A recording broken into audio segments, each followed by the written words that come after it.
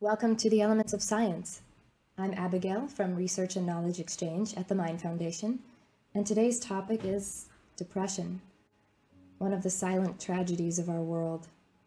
Some form of it affects up to one in six people at some point in their lifetime, and because it is both common and debilitating, depression causes more disability worldwide than nearly any other disease.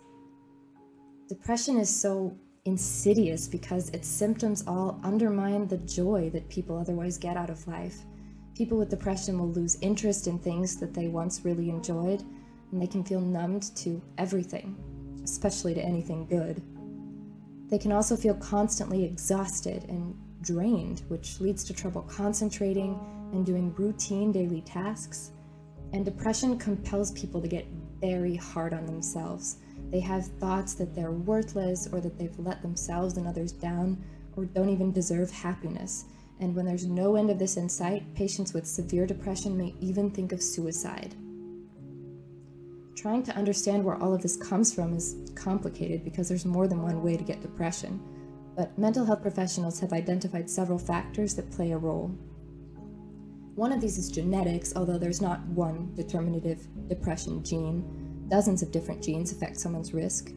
Chronic illnesses can also sometimes bring depression with them, especially when they drastically reduce someone's quality of life.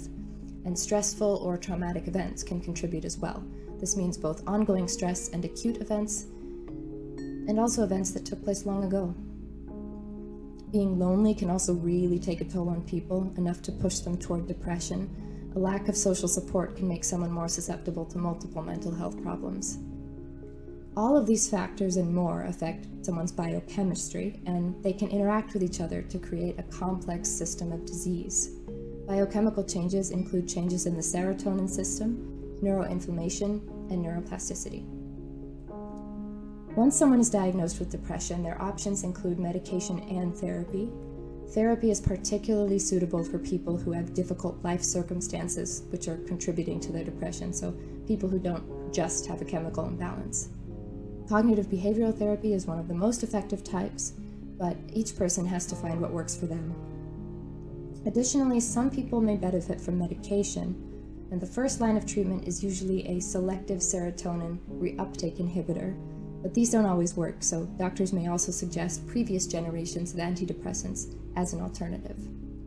In recent years, ketamine has also been used as a fast-acting treatment for severe depression, although it can't be used too often and especially for patients with treatment-resistant depression, recent research suggests that psychedelics, particularly psilocybin, may improve depression by targeting both its biochemical and cognitive causes.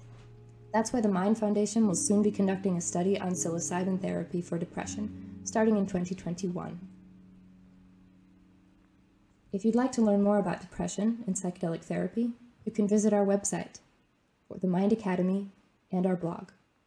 You can also browse this reference list. Until next time, on the Elements of Science.